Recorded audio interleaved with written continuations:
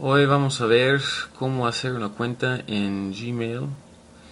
Em, les sugiero mucho de usar lo que es Google Chrome, el browser, para hacer este proceso. Para bajar Google Chrome te vas a Explore, porque obviamente estoy usando Google Chrome ahorita. Te vas a bajar Google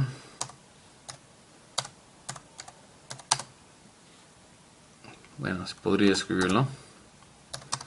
Chrome. Enter.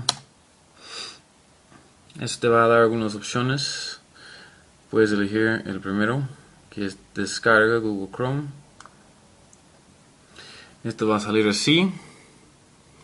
Y solamente eliges descargar Google Chrome y allí vas a poder seguir las instrucciones para instalar Google Chrome que es este browser aquí.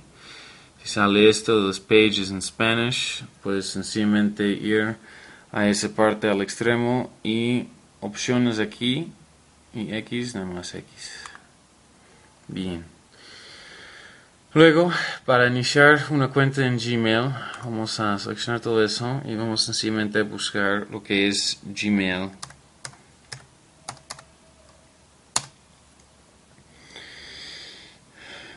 Parece que estoy moviéndome, no pasa nada. Vamos a poner, ¿no? Y aquí dice, la primera opción es Gmail. Gmail, la primera está perfecto. Luego me va a salir algo así. Gmail, Google Approach to Email. Aquí al lado es normalmente donde vas a meterte para ver tu correo y todo. Pero al que no tenemos una cuenta, vamos a ver aquí. Dice create an account, pero si eso sale en español va a ser como dice crear una cuenta, algo así. Vamos a seleccionar esto. Y luego, si te fijas, me sale en inglés, pero podemos poner esto en español, como si cruzas toda la pantalla, aquí dice Change Language, y aquí puedes ponerlo en español y todo aquí va a salir en español como puedes ver bien aquí nombre y apellido hay que poner tu nombre real. Entonces si es Juan pues pongo Juan. Apellido aquí en apellidos vamos a poner Hernández lo que sea Telles Pongo todos los apellidos y nombres que tienes. Y lo más importante va a ser el nombre de registro. Y aquí dice comprobar disponibilidad. Esto puedes poner lo que quieres.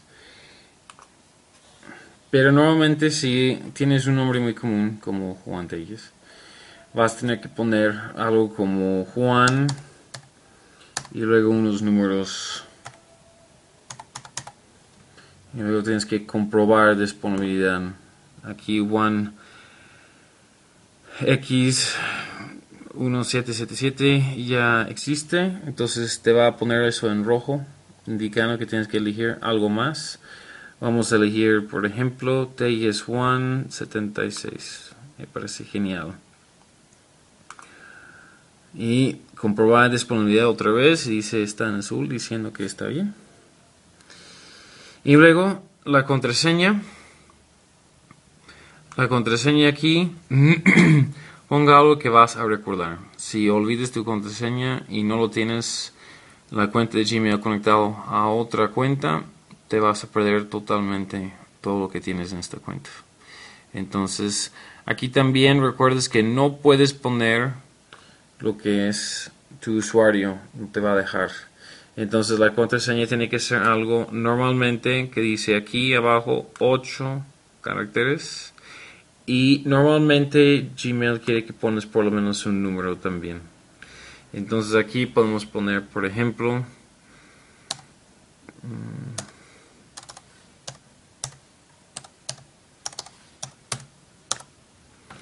me dice que es óptima porque puse letras y números. Y luego tenemos que repetirlo aquí abajo. Porque dice vuelva a introducir.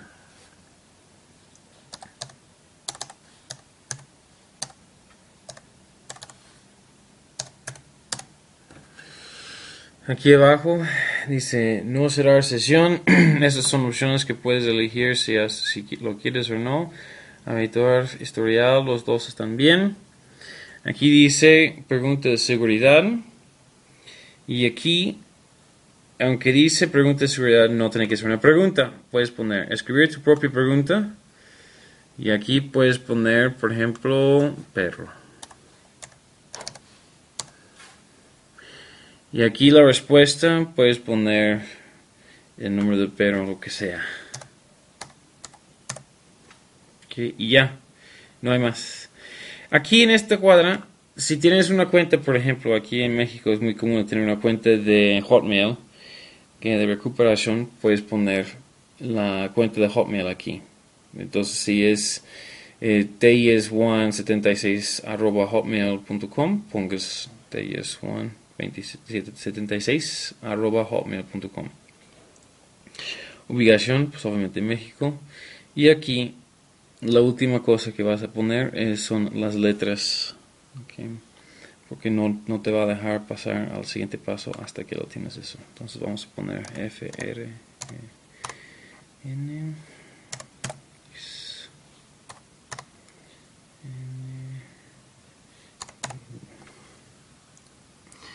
Y luego, ya poniendo estos, vamos a bajar. Aquí están los, contrato o lo que sea. Aquí nada más terminamos poniendo acepto. Ok. Ok, en este último paso vamos a tener que verificar la cuenta. Eso es nada más para dar un nivel de seguridad un poquito más alto en relación a lo que sea tu cuenta para averiguar con Google que no estás intentando de hacer eso por spam o lo que sea. Y aquí va a ser llamada de voz, dice llamada de voz, es decir, van a llamarte para decirte solamente el número, van a repetir el número dos veces, son cinco dígitos. Aquí está el país, pones tu número de celular y luego pones enviar código. Ya después de que tú empujes esto, dentro de unos 5 segundos vas a recibir la llamada con una computadora diciendo los 5 dígitos. Vamos a ponerlos en el siguiente paso.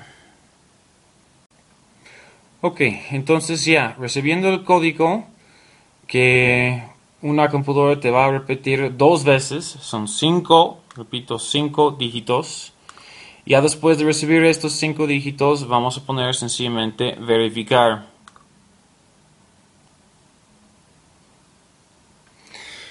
Cuando terminamos se va a salir algo así. Dice enhorabuena, ya has producido todo tu cuenta, va a tener todo algo así.